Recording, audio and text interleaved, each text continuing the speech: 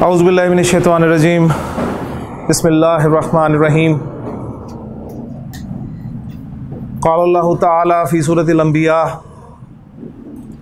لقد انزلنا الیکم کتابا فیہ ذکرکم، افلا تعقلون؟ صدق اللہ العظیم۔ رب اشرح لی صدری ویسر لی امری واحلل عقدۃ من لسانی یفقہوا قولی۔ آمین۔ یا رب العالمین۔ سورت الانبیاء میں سے میں نے ایک آیت آپ کے سامنے تلاوت کی ہے، چھوٹی سی آیت ہے۔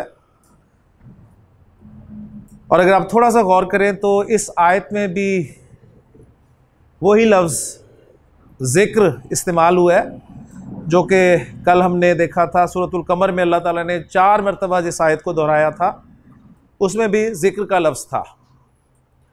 اور ذکر کے دو معنی میں نے آپ کے سامنے بیان کیے تھے، ایک ذکر یاد کرنا کے معنی میں یا ذکر کے معنی میں اور دوسرے نصیحت۔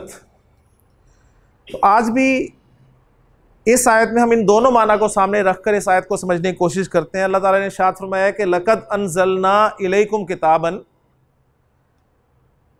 یقیناً ہم نے تمہاری طرف ایک ایسی کتاب نازل کی ہے فی ہی ذکر جس میں تمہارا ذکر ہے۔ اگر ذکر کے معنی ذکر ہی لیے جائیں تو اس سے ہمیں پتہ چلتا ہے کہ قرآن مجید میں میرا، آپ کا، ہم سب کا ذکر ہے۔ اتنی مرتبہ ہم نے قرآن مجید مکمل کیا، لیکن کبھی بھی ہمیں محسوس ہوا، ہمیں پتہ چلا کہ یہ میرا ذکر ہوا ہے۔ کبھی نہیں۔ اس کی سب سے بڑی وجہ تو یہی کہ جس کے لیے ہم یہاں پر جمع ہوئے ہیں کہ زبان جو قرآن کی زبان ہے اس سے ہم نا واقف ہیں اور ہمیں بالکل وہ زبان نہیں آتی۔ لہٰذا ہمیں پتہ ہی نہیں چلتا، ہماری بات ہو رہی ہوتی ہے، ہمارا ذکر ہو رہا ہوتا ہے قرآن میں اور ہم اس سے ایسے گزر جاتے ہیں جیسے ہمارا ذکر ہی نہیں ہے۔ تو قرآن مجید میں میرا ذکر ہے، آپ کا ذکر ہے، ہم سب کا ذکر ہے، لیکن کہاں ہے؟ اس بات کو جاننے کے لیے ہمیں قرآن کی زبان کو سمجھنا پڑے گا ان شاء اللہ تعالیٰ۔ تو پھر ہمیں پتہ چلے گا کہ ایک آیت آپ پڑھیں گے، آپ کو اچانک لگے گا کہ تو میری بات ہوئی ہے۔ اگلے دن قرآن مجید کی آیت کوئی آپ کے سامنے آئے گی تو آپ اس میں دیکھیں گے کوئی ذکر کسی کا ہوا تو آپ کو لگے گا کہ تو میری تصویر کھینچی جا رہی ہے۔ میں بھی ایسے ہی کرتا ہوں۔ تو قرآن مجید میں میرا، آپ کا، ہم سب کا ذکر ہے۔ اور جب ہمیں سمجھ آئے گی تو پھر جو آگے فرمایا کہ افلا تاکلون، تو کیا تم عقل نہیں کرتے؟ عقل کب کریں گے ہم؟ عقل ہم اسی وقت کریں گے جب ہمیں پتہ چلے گا کہ ہمارا ذکر ہے۔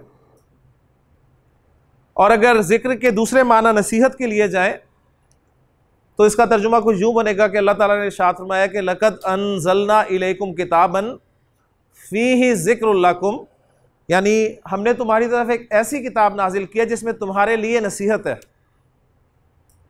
تو قرآن میں میرے لیے، آپ کے لیے، ہم سب کے لیے نصیحت ہے، لیکن بات پھر وہی کہ اس نصیحت کی زبان میری آپ کی زبان نہیں ہے، لہٰذا اس نصیحت سے ہم ایسے گزر جاتے ہیں کہ ہمیں پتہ بھی نہیں چلتا۔ تو اس نصیحت کو، اس ذکر کو یا اس فہم کو جاننے کے لیے لسان القرآن یعنی قرآن کی زبان سمجھنے کی ضرورت ہے۔ اللہ تعالیٰ کا شکر ہے، اس کا فضل ہے کہ اس نے ہمیں یہاں پر اکٹھا ہونے کی توفیق عطا فرمائی۔ تو شعور سے پورے اس کا شکر کر کے میں ایک چھوٹی سی دعا آپ کے سامنے بورڈ پہ لکھتا ہوں اور اپنے سبق کو ان شاء اللہ تعالیٰ لے کے چلتے ہیں آگے۔ تو ایک مختصر سی دعا ہے جی اس کو آپ آنے سے پہلے، جانے کے بعد، سونے سے پہلے، اٹھنے کے بعد، جب چاہیں، صبح، دوپہر، شام، ٹھیک ہے، چاہے ایک مرتبہ، چاہے دو مرتبہ، چاہے تین، جب بھی آپ کو ضرورت پڑے، آپ اس دعا کو پڑھیں ان شاء اللہ تعالیٰ دیکھیں گے، اللہ تعالیٰ آپ کے لیے آسانی فرمائے گا۔ تو بڑی مختصر سی دعا ہے جی سٹارٹنگ ہمارے رب کے نام سے ہو رہی ہے کہ ربی، اے میرے رب۔ اب یہاں میں تھوڑا تھوڑا سا آپ کو مزید بھی کلیئر کرتا جاؤں کہ آپ کو دکھنے میں یہ ایک لفظ نظر آ رہا ہے، ربی۔ لیکن ترجمہ میں اس کا کر رہا ہوں تین الفاظ کے ساتھ کہ اے میرے رب۔ تین الفاظ۔ نہ اس میں آپ کو اے نظر آ رہا ہے، نہ کوئی میرا کچھ نظر آ رہا ہے، صرف رب ہی نظر آ رہا ہے۔ لیکن ان شاء اللہ تعالیٰ جیسے میں نے عرض کیا تھا کہ ایک دن ایسا آئے گا کہ آپ انشاءاللہ یہاں بورڈ پہ لکھے جانے والے ہر جملے کو ہر آیت کو، ہر حدیث کو انشاءاللہ گرامیٹیکلی انالائز کرنے کے قابل ہوں گے انشاءاللہ۔ تو ابھی مجھ پہ یقین کرتے ہوئے آپ اس کو مان لیں گے کہ ربی کا معنی ہے اے میرے رب۔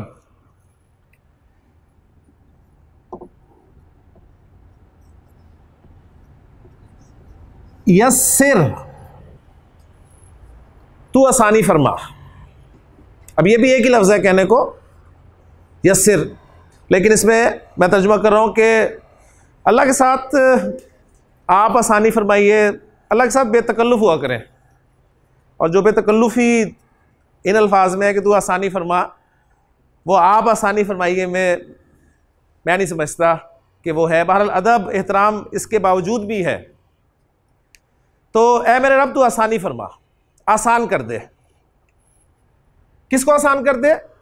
میرا آنا، میرا پڑھنا، میرا سیکھنا میرا یاد کرنا، یہ سب کچھ آسان کر دے اب آپ جانتے ہیں کہ آسانی کے ساتھ ساتھ ہی ایک چیز چل رہی ہے، تنگی۔ پرانی مجید میں اللہ تعالیٰ نے شاطر میں آیا کہ ان مال اسری اسرا تنگی کے ساتھ آسانی ہے۔ ٹھیک ہے؟ تو ساتھ ہی دعا مانگی جا رہی ہے، ولا تو اسر اور اے میرے رب، تو مشکل نہ فرمانا تنگی نہ فرمانا ربی اسر ولا تو اسر اے میرے رب، آسانی فرما دے اور مشکل نہ فرما۔ اب تیری توفیق سے، تیرے فضل سے، تیرے کرم سے ہم یہاں پر آ ہی گئے ہیں۔ چالیس دن ہم نے نکال ہی لیے ہیں۔ تو اب اس کو ذرا خیر و عافیت سے آسانی کے ساتھ مکمل بھی فرما دے۔ لہذا فرمایا و تمم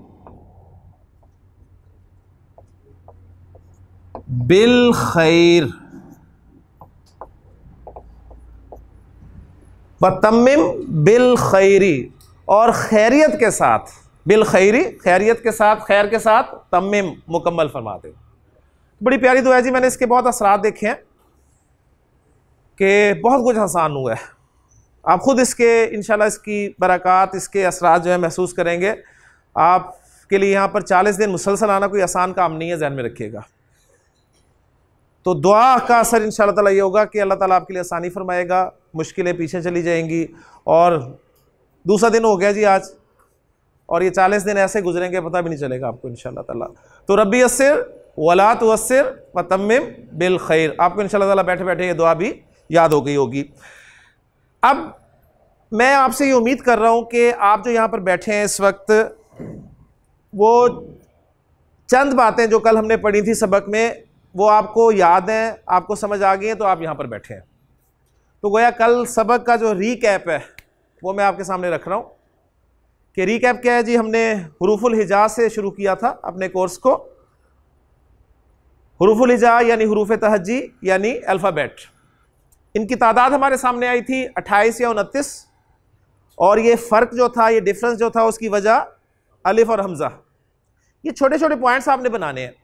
چالیس دن کے بعد آپ کے، میرا خیال ہے کوئی پانچ سے دس صفحے لگیں گے۔ ان پوائنٹس کی شکل میں، لیکن آپ کو پوری گرامر ان شاء اللہ تعالیٰ ازبر ہو جائے گی، ان شاء اللہ تعالیٰ۔ تو یہ پوائنٹس لینے ہیں آپ نے۔ لیکچر پونے گھنٹے کا گھنٹے کا ہوگا، لیکن اگر آپ خلاصہ نکالیں گے تو تین چار یا میکسیمم پانچ پوائنٹس نکل آئیں گے۔ تو یہ پوائنٹس بنایا کریں۔ حروف الحجا آپ کو پتہ ہونی چاہیے، جو کہ الحمدللہ پتہ ہے۔ ان کی تعداد اٹھائیس سے انتیس میں نے کہی۔ کون کون سے ہیں؟ ان کی پروننسیشن آپ کو الحمدللہ پتہ ہے۔ کس کو اے کے ساتھ پڑھنا ہے، کس کو آ کے ساتھ پڑھنا ہے، وہ سارا ہم جان چکے ہیں۔ الف، با، تا، سا، جیم، ہا، خا، وغیرہ وغیرہ۔ حمزہ الف کا فرق، وہ الف جس پر زیر، زبر یا پیش آ جائے یا علامت سکون آ جائے، تو اب اس کو الف نہیں کہا جائے گا، حمزہ کہا جائے گا۔ تو جن لوگوں نے حمزہ کو الگ سے حرف تصور کیا، ان کے مطابق تعداد انتیس ہو گئی اور جنہوں نے الف اور حمزہ کو ایک ہی حرف کنسیڈر کیا، ان کے مطابق تعداد اٹھائیس کی اٹھائیس رہی۔ حروف اور حرکات کے ملنے سے ہم نے لفظ بنائے۔ کل ہم نے دیکھا انسان کیسے بنا۔ ہم نے اقرا لفظ کو پڑھا۔ اسی طرح قلم۔ یا یہ بورڈ پہ جو لفظ لکھے ہوئے سارے الفاظ ہیں۔ یہ دیکھیں، حروف اور حرکات کے ملنے سے بن رہے ہیں۔ حروف کی پروننسیشن کیا ہے؟ ابھی میں آپ کے سامنے رکھتا ہوں، اگر میں آپ سے پوچھوں جی یہ ربی اس میں تین حروف استعمال ہوئے ہیں۔ آپ کہیں گے نہیں جی دو ہوئے۔ ہیں دو ہوئے ہیں، لیکن دوسرا حرف دو مرتبہ استعمال ہوا ہے کیونکہ جو شد ہے، یہ بتاتی ہے کہ وہ حرف ریپیٹ ہوا ہے تو یہ حروف، ان کی پروننسیشن کیا ہوگی جی؟ را، با اور با۔ ٹھیک؟ تو آپ نے اسے رے، بے بے نہیں کہنا۔ اب اب ماشاء اللہ آپ ابھی پڑھ رہے ہیں۔ تو آپ نے اسے رے بے بے سے نکل کے را با با۔ اس کے بعد یا، پھر سین دو مرتبہ۔ سین پیش آتا ہے تو سین سین را۔ واؤ لام، الف، تا، عین، سین، دو مرتبہ را۔ واؤ تا، میم، دو مرتبہ، پھر میم، پھر با۔ ہاں جی یہ کیا الف ہے کون سا الف ماشاء اللہ الف، لام، خا، ناٹ خے، یا اور را۔ تو الحمدللہ، یہی پروننسیشن تھی جو کل ہم نے سیکھی تھی کہ کس حرف کو کیسے ہم نے پروناؤنس کرنا ہے۔ تو بعد میں کر رہا تھا کہ حروف اور حرکات کے ملنے سے لفظ بنتے ہیں۔ یہ سارے لفظ حروف اور حرکات کے ملنے سے بنے ہیں۔ قلم ایک لفظ ہے اور عربی کا لفظ ہے۔ اردو میں ہم استعمال کرتے ہیں قاف، لام اور میم۔ کتاب عربی کا لفظ ہے۔ کاف تا، الف، با سے مل کر بنا۔ کرسی عربی کا لفظ ہے۔ کاف را، سین، یا، دو مرتبہ۔ تو اتنے سارے الفاظ آپ کے عربی کے ہیں جو اردو میں استعمال ہوتے ہیں۔ بس صرف توجہ کرنے کی ضرورت ہے۔ آج ان شاء اللہ تعالیٰ آپ کو ایک ویکیبلری ملے گی، ایک لسٹ ملے گی ان شاء اللہ تعالیٰ، جس میں آپ کو ویکیبلری ذخیرہ الفاظ غالباً کہا جاتا ہے جی۔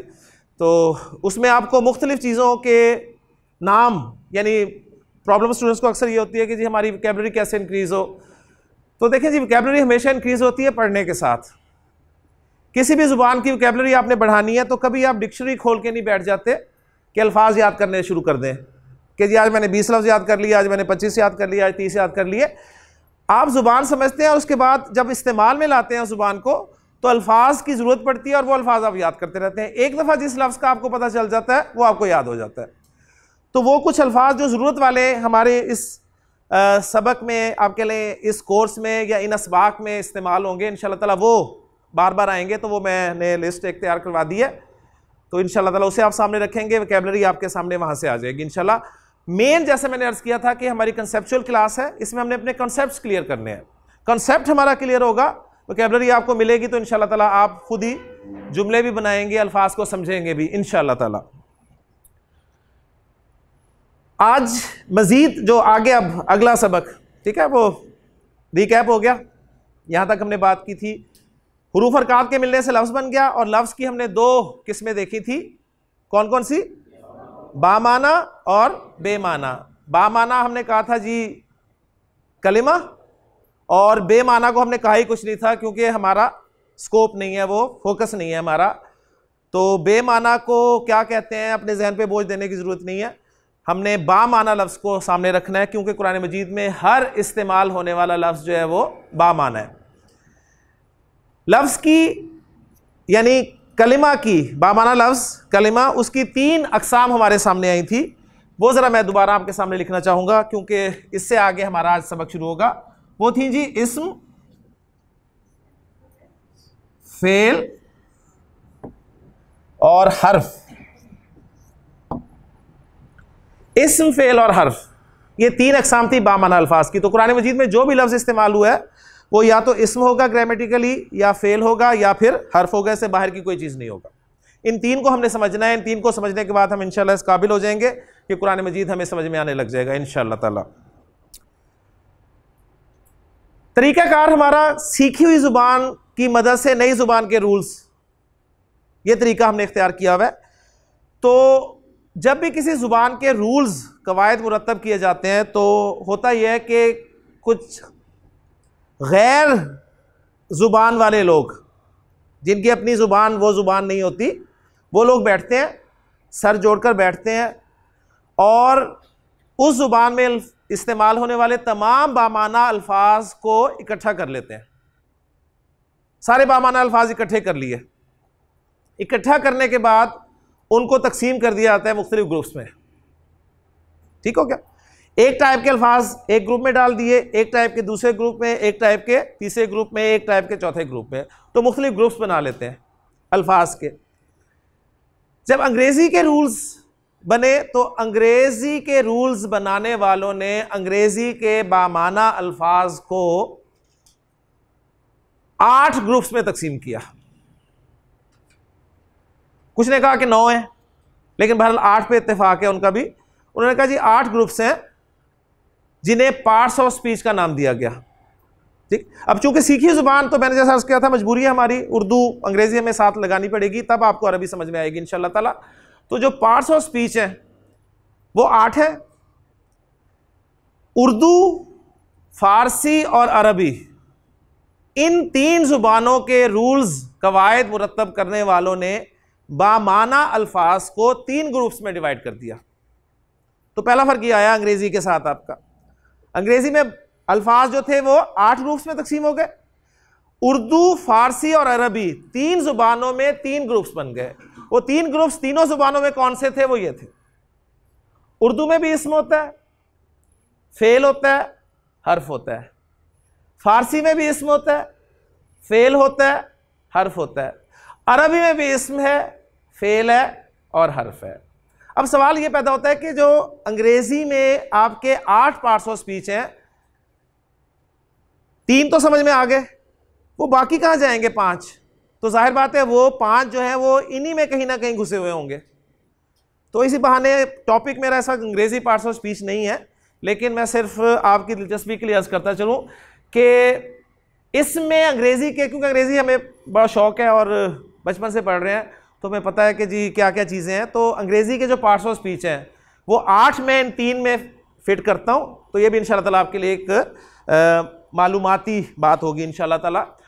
تو اس میں انگریزی کے پارٹس میں سب سے پہلے آتا ہے جی ناؤن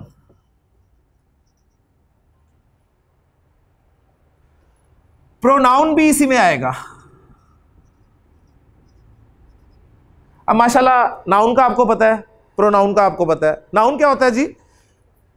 کسی شخص، کسی چیز، ٹھیک ہے؟ Name of anything pronoun is a word which is used in place of a noun آپ ناؤن کے لیے ناؤن کی جگہ پر جو لفظ استعمال کرتے ہیں، اسے پروناؤن کہتے ہیں۔ ٹھیک ہے؟ ہی شیٹ جیسے ایگزامپل اس کی۔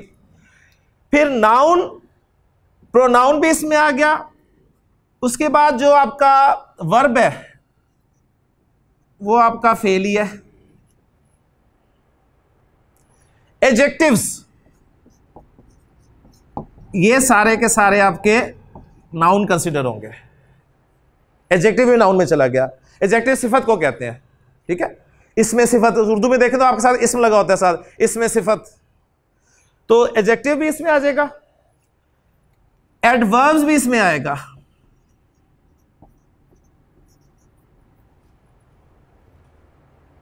ایڈورب یہ بھی کوالیفائی کرتا ہے ناؤن کو کرتا ہے ایجیکٹو کو کرتا ہے یا ورب کو کرتا ہے یعنی اندر ورب یعنی ایڈورب کو کرتا ہے. تو ایڈجیکٹو یہ ناؤن کو کوالیفائی کرتا ہے اور ایڈورب جو ہے یہ ورب کو یا ایجیکٹو کو یا ایڈورب کو ہی کوالیفائی کرتا ہے. ٹھیک ہے؟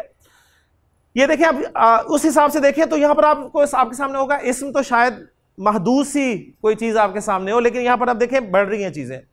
تو ایک، دو، تین، چار، پانچ ہو گئے؟ اس کے بعد آپ کی ہیں جی پریپوزیشنز اب پریپوزیشن جو ہیں یہ آپ کی حروف میں چلی جائیں گی جی حرف میں آ جائیں گی۔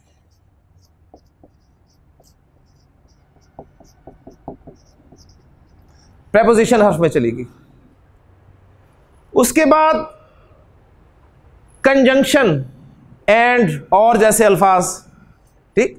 یہ بھی آپ کے حرف میں آ جائیں گے۔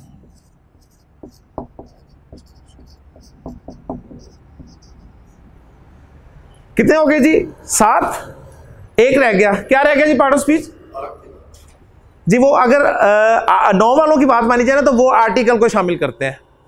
Article is ninth part of speech eighth part of speech کون سے عمر؟ انٹرجیکشن انٹرجیکشن کیا لفظ ہوتا ہے؟ یہ آپ کے ایموشنس کو ایکسپریس کرتا ہے۔ واؤ ٹھیک ہے؟ قرآن مجید وجہ سے یوسف علیہ السلام کے بھائیوں نے جب حضرت یوسف کو کنویں میں ڈالا تھا تو قافلہ وہاں سے گزرا۔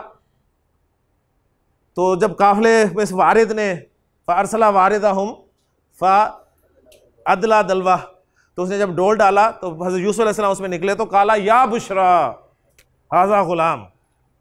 ٹھیک ہے؟ تو یعنی یا بشرا کو اگر ہم اس سے سینس میں لینا واؤ۔ تو وہ پھر آپ کو سمجھ میں آئے گا کہ یہ سارا وہ انٹرجیکشن ہے۔ ٹھیک؟ تو انٹرجیکشن اب کس طرف جائے گا؟ یہ بھی اس میں آ جائے گا جی۔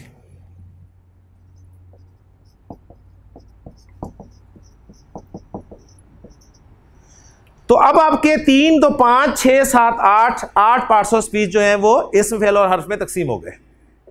آرٹیکل کو بھی شامل کر لیں اگر، تو آرٹیکل آپ کا انڈیفینٹ اور ڈیفینیٹ آرٹیکلز اے اور دی جنہیں ہم بولتے ہیں۔ تو ایکچولی ان کے لیے کوئی عربی میں الگ سے لفظ نہیں ہے۔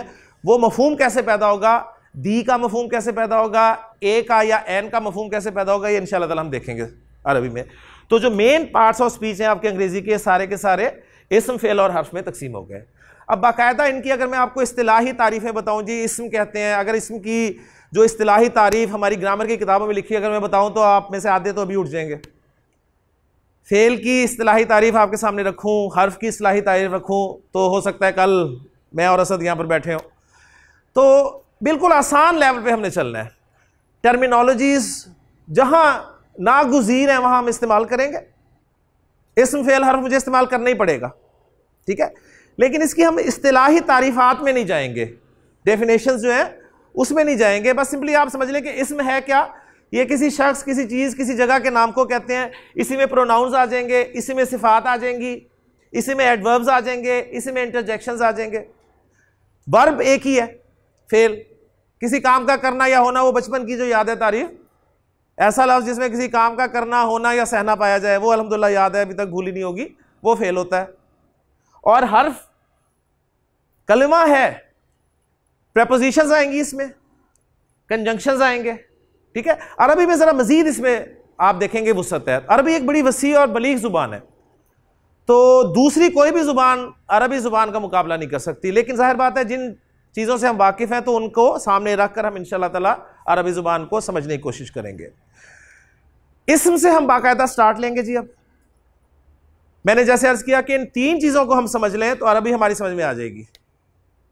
اسم کو ہم سٹارٹ کریں گے۔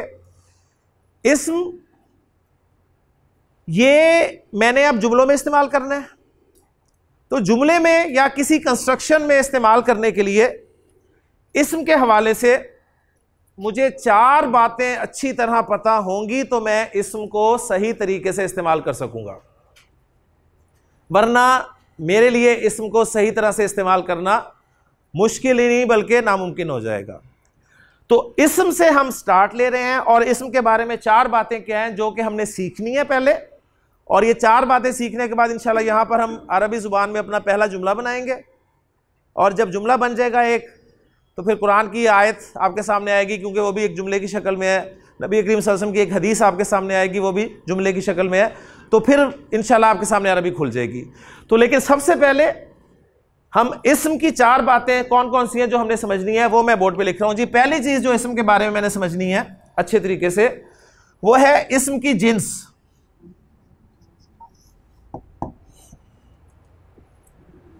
جنس یعنی جینڈر۔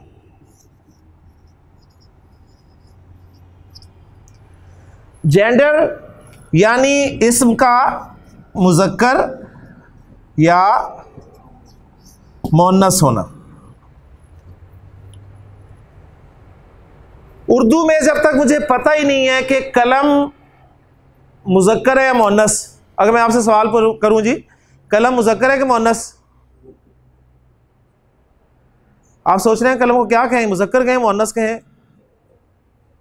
تو یہ نہ مذکر ہے نہ مونس ہے۔ قلم نہ مذکر ہے نہ مونس ہے۔ لیکن اس کا استعمال مجھے یا مذکر کرنا پڑے گا یا مونس کرنا پڑے گا۔ ٹھیک ہے؟ آپ سب مذکر ہیں، یہ سب مونس ہے بات سمجھ میں آتی ہے۔ کرسی مذکر ہے کہ مونس نہ مذکر ہے نہ مونس لیکن کرسی کا استعمال یا تو مذکر طور پہ کرنا پڑے گا یا مونس کے طور پہ کرنا پڑے گا۔ تو جب مجھے پتہ ہی نہیں کہ قلم اردو میں میں مذکر استعمال کرتا ہوں تو میں قلم کو جملے میں کیسے استعمال کروں گا؟ بے شک جاندار نہیں ہے، لیکن استعمال تو مذکر مونس کے طور پہ ہے کہ نہیں ہے؟ کرسی آپ کی مونس ہے نا؟ نہیں، کیا؟ ہے کیا؟ اسے جنس کے اعتبار سے ہم کیا استعمال کرتے ہیں؟ مونس کرتے ہیں نا؟ تو جاندار نہیں ہے حالانکہ، مذکر کیوں نہیں کرتے؟ میرا کرسی کیوں نہیں کہتے؟ میرا کرسی کیوں میری میری بات کا جواب دے۔ میرا کرسی آپ کیوں نہیں کہتے؟ بات ہوئی ہے نا، آپ نے کرسی کو مونس بولتے سنا۔ آپ کی زبان ہے۔ ٹھیک ہے؟ لیکن کچھ نہ کچھ تو استعمال کرنا ہی پڑے گا نا۔ تو عربی میں میں نے قلم کو مذکر استعمال کرنا ہے یا مونس استعمال کرنا ہے، یہ مجھے جینڈر ٹاپک بتائے گا۔ کرسی کو میں نے عربی میں مذکر استعمال کرنا ہے یا مونس استعمال کرنا ہے، یہ مجھے جینڈر ٹاپک بتائے گا۔ انگریزی میں یہ ٹینشن ہی نہیں ہے کہ کرسی مذکر ہے، مونس۔ وہ مائی چیئر ہی ہوتی ہے، چاہے آپ کہیں، چاہے آپ کہیں۔ مائی چیئر ہی۔ ٹھیک ہے نا؟ ایسی ہے نا؟ تو جنس ہم انشاءاللہ پڑھیں گے اور ہو سکتا ہے کہ آج ہی پڑھیں اس کو۔ یہ پہلا پہلو ہے جو ہم کور کریں گے انشاءاللہ اسم کے حوالے سے۔ دوسرا پہلو۔ اسم کی بارے میں دوسری بات جو مجھے اچھی طرح پتہ ہونی چاہیے، وہ ہوگا اسم کا عدد۔ عدد سے مراد اسم کا نمبر ہے۔ اور نمبر سے مراد اسم کا واحد۔ یہ لفظ کیا ہے جی؟ واحد۔ اسے پکا کریں۔ ناٹ واحد۔ ٹھیک ہے، واحد جمع نہیں سیکھنے آئے آپ۔ آپ واحد جمع سیکھنے آئے واحد جمع۔ واحد جمع سے آپ اردو میں واقف ہیں۔ سنگولر پلورل سے آپ انگریزی میں واقف ہیں۔ عربی میں واحد جمع تو ہے ہی ہے لیکن ساتھ ایک تیسرا عدد بھی استعمال ہوتا ہے، جسے مسنہ یا تسنیہ کہا جاتا ہے۔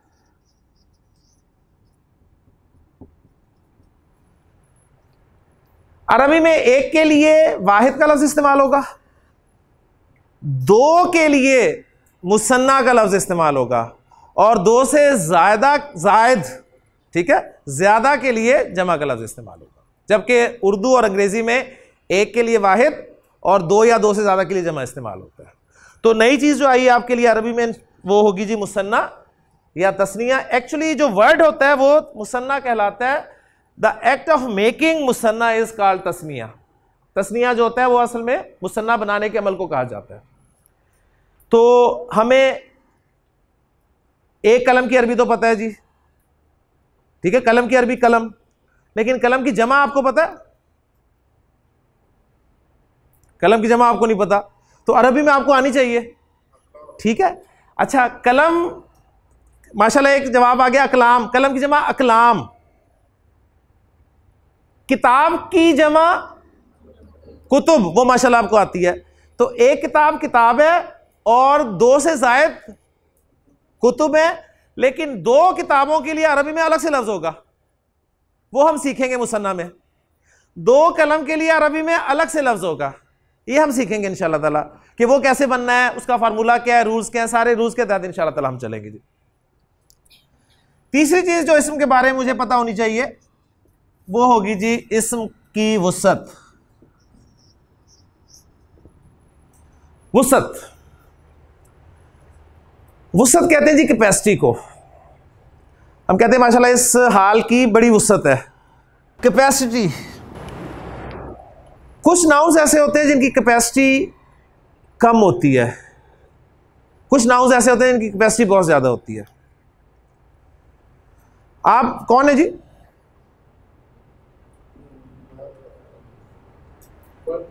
جی ماشاء اللہ یہ فرد ہیں، طالب علم کی حیثیت سے اس کلاس میں آئے ہیں۔ طالب علم ہے نا؟ کہہ سکتا ہوں۔ جی طالب علم ہے آپ بھی طالب علم ہے آپ بھی طالب علم ہے آپ بھی طالب علم۔ جتنے بھی بیٹھے ہیں، سب کے سب طالب علم ہیں۔ یہاں پر یہ طالب ہیں، چھوٹی سی۔ ان کے ساتھ طالب ہیں، ان کے ساتھ طالب ہیں، ان کے ساتھ طالبات سب طالبات ہیں۔ تو طالب علم یا طالبہ کی وسعت بہت زیادہ ہے۔ لیکن آپ طالبات میں سے عائشہ اگر میں پوچھوں تو شاید کوئی ایک آدھا ہاتھ کھڑا ہو جائے۔ آپ طالب علموں سے میں پوچھوں جی اسامہ کوئی ہے؟ ایک ہاتھ کھڑا ہوا۔ تو اسامہ طالب علم ہے، لیکن ہر طالب علم اسامہ نہیں ہے۔ ٹھیک ہے؟ میں کہتا ہوں جی ایک طالب علم مجھے پانی پلا دے۔ تو میرا خیال ہے، گمان ہے میرا کہ آپ میں سے ہر ایک کی خواہش ہوگی کہ میں پانی پلاؤں۔ لیکن جب میں کہتا ہوں اسامہ مجھے پانی پلا دے، تو اسامہ ہی اٹھے گا، میرا خیال اور کوئی نہیں اٹھے گا۔ تو یہ کیپیسٹی ہے اسم کی۔ اس میں وسعت کے اعتبار سے اسم جو ہے، یا تو نکرا ہوگا جی یا پھر وہ ہوگا معرفہ۔ یہ بھی آپ پڑھتے آئے ہیں۔ اردو گرامر میں آپ نے نکرا معرفہ پڑھا ہوا ہے۔ ٹھیک ہے؟ ڈیفینیٹلی معرفہ نکرا ہم اردو میں پڑھتے آئے ہیں کامن ناؤن پراپر ناؤن انگریزی میں پڑھتے آئے ہیں۔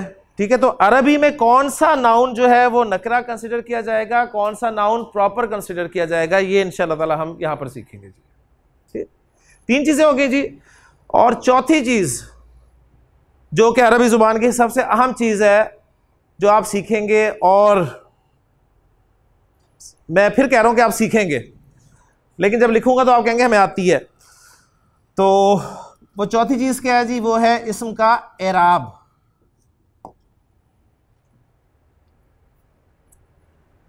اعراب ایک لفظ ہم نے پڑھا ہوا ہے، ہمارے پیپرز میں اردو کے خاص طور پہ سوال آیا کرتا تھا، اعراب لگائیے۔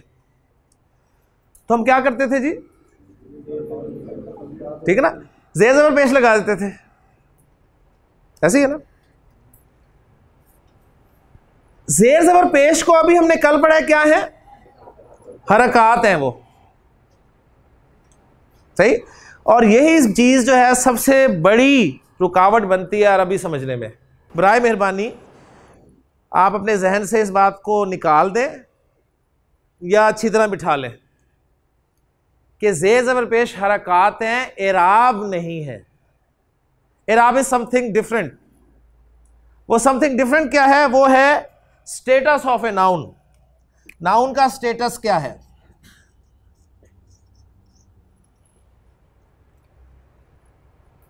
عربی زبان میں استعمال ہونے والا ہر ناؤن ہر اسم اسم کے بارے میں پڑھ رہے ہیں نا ہم؟ ہر اسم اسٹیٹس وائز ڈفرینٹ ہوگا۔ جس طرح آپ لوگ ماشاء اللہ اسٹیٹس وائز ڈفرینٹ ہے ٹھیک ہے؟ ایون ایک اسٹیٹس کے لوگ جو ہیں وہ بھی اپنے ڈیلی روٹین میں ڈفرینٹ ہے مختلف حالتوں میں استعمال ہوتا ہے ناؤن اسم عربی زبان میں آپ صبح ایک حالت میں ہوتے ہیں جب صبح سو کے اٹھتے ہیں تو آپ کی اور حالت ہوتی ہے بزنس کے لیے فیکٹری کے لیے نکلتے ہیں تو اور حالت ہو جاتی ہے آپ کی ٹھیک اور جب شام کو آتے ہیں تو اور حالت ہوتی ہے تو آپ حالتیں بدلتے رہتے ہیں اپنی ہوتے آپ ہی ہیں ٹھیک ہے؟ کبھی آپ بڑے اونچی حالت میں ہوتے ہیں فریش اور شام کو گڑے ہوئے ہوتے ہیں، تھکے ہارے، ہوتے ہیں آپ ہی ہیں، اور رات کو پھر آپ لیٹی ہوئی حالت میں ہوتے ہیں، ٹھیک ہے؟ تو عربی زبان میں بھی اسم جو ہے وہ تین حالتیں اختیار کرے گا، اور وہ تین حالتیں ہمیں اعراب بتائے گا اسم کی۔ ٹھیک ہے؟ اس اعتبار سے جو آپ نے چیز سمجھنی ہے وہ یہ ہے کہ عربی زبان میں جیسے کہ جنس کے اعتبار سے اسم یا تو مذکر ہے یا مونس ہے، عدد کے اعتبار سے یا واحد ہوگا یا مصنع ہوگا یا جمع ہوگا وسعت کے اعتبار سے یا نکرہ ہوگا یا معرفہ ہوگا، تو اعراب کے اعتبار سے اسم یا تو مرفوع ہوگا، حالت رفع میں ہوگا یا پھر وہ منصوب ہوگا۔ حالت نصب میں ہوگا یا پھر وہ مجرور ہوگا، حالت جر میں ہوگا۔ تو اس میں ان تین حالتوں میں سے ایک حالت میں آپ کو قرآن مجید میں ملے گا جی۔ یا وہ آپ کو مرفوع مل رہا ہوگا حالت رفع میں، یا وہ منصوب ملے گا آپ کو حالت نصب میں، یا پھر وہ مجرور ملے گا آپ کو حالت جر میں۔ اس کے علاوہ اسم کی چوتھی کوئی حالت نہیں ہوگی۔ اب وہ حالت رفع میں ہوگا تو کیسا دکھے گا؟ آپ فریش ہوتے ہیں تو کیسے دکھتے ہیں؟ جب وہ حالت نصب میں ہوگا تو کیسے دکھے گا؟ جب وہ حالت جر میں ہوگا تو کیسے دکھے گا؟ یہ ہم انشاءاللہ پڑھیں گے تفصیل سے اعراب کے ٹاپک میں۔ ٹھیک؟ اب مجھے پتا ہے کہ آپ جین صدر وسط کو بھولے ہوئے سب سارے کی توجہ اعراب پہ گئی ہے کہ یہ ہے کیا چیز۔ لیکن ان شاء اللہ تعالیٰ ایک ایک کر کے ہم اسے تفصیل سے پڑھیں گے۔ ابھی تو جنس آپ کے سامنے میں شروع کروں گا تو آپ کو پتا چلے گا کہ جنس میں سے بھی بہت ساری چیزیں آپ کے لیے نہیں ہوں گی ان شاء اللہ تعالیٰ۔ تو اسم کو ہم نے باقاعدہ شروع کیا جی۔ اس میں کیا کیا چیزیں آ رہی ہیں؟ ناؤن آ رہا ہے، پروناؤن آ رہا ہے ایجیکٹو آ رہا ہے ایڈورب آ رہا ہے انٹرجیکشن آ رہا ہے۔ اور اردو میں ہم یہ کہہ سکتے ہیں کہ اسم کسی شخص کا نام ہے، کسی چیز کا نام ہے، کسی جگہ کا نام ہے، کوئی صفت ہے، کسی کام کا نام ہے۔ نام جہاں بھی آ جائے گا وہ اسم کی کیٹیگری میں آ جائے گا۔ اور اسم کو جملے میں یا کسی کنسٹرکشن میں استعمال کرنے کے لیے مجھے اس کے بارے میں چار چیزیں اچھی طرح پتہ ہونی چاہیے۔ اس کی جنس، کہ یہ مذکر ہے مونس ہے۔ اگر ریئل مذکر مونس نہیں ہے تو اس کا استعمال مذکر ہے یا مونس عدد واحد کے لیے تو قلم استعمال ہوتا ہے مسنہ کے لیے کیا ہوتا ہے؟ جمع کے لیے کیا ہوتا ہے؟ یہ مجھے سیکھنا پڑے گا۔ یہ قلم اسم جو ہے نکرا ہے کہ معرفہ ہے؟ یہ مجھے جاننا پڑے گا۔ قلم کس حالت میں استعمال کرنا ہے میں نے جملے میں؟ رفع میں، نصب میں، جر میں۔ جب یہ رفع میں ہوگا تو کیسا ہوگا؟ نصب میں ہوگا تو کیسا ہوگا؟ جر میں ہوگا تو کیسا ہوگا؟ یہ انشاءاللہ ہم رام میں پڑھیں گے۔ یہیں پر ہم آج اکتفا کرتے ہیں۔ میرا تو دل کرتا ہے کہ آپ کو آج ہی میں ساری عربی پڑھا دوں۔ اور جلد از جلد آپ قرآن مجید کی آیات یا نبی وسلم کی حدیث کو جو ہے بورڈ پہ انالائز کرنے کے قابل ہو جائیں۔ لیکن ظاہر بات ہے یہ ابھی ابھی آپ فریش ہیں تو آپ کا دماغ بھی ماشاءاللہ کام کر رہا ہے خالی بھی ہے تھوڑا سا، خالی سینس میں کہ سٹوریج کے حوالے سے خالی ہے۔ اس میں ڈیٹا سٹور ہو رہا ہے، صحیح ہے۔ ابھی ذرا وہ زیادہ ہو جائے گا تو پھر پرابلم ہو سکتی ہے۔ تو یہیں پر آج اتفاق کرتے ہیں۔ ان شاء اللہ تعالیٰ کل ہم جنس کو شروع کریں گے۔ آپ اس قابل ہوں گے کل کہ آپ خود مجھے بتائیں گے کہ جی عربی زبان میں پنکھا مذکر ہے کہ مونس ہے؟ ٹھیک ہے؟ کمرہ مذکر ہے یا مونس ہے؟ یہ کیمرہ مذکر ہے یا مونس ہے؟ یہ بورڈ مذکر ہے یا مونس ہے؟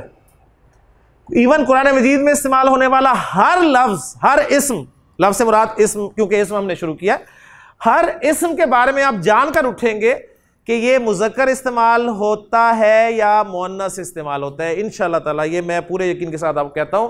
لیکن بات صرف وہی ہے کہ جو میں نے کل آپ سے گزارش کی تھی، دیکھیں اس بورڈ پہ اب یہ کچھ لکھا ہوا ہے۔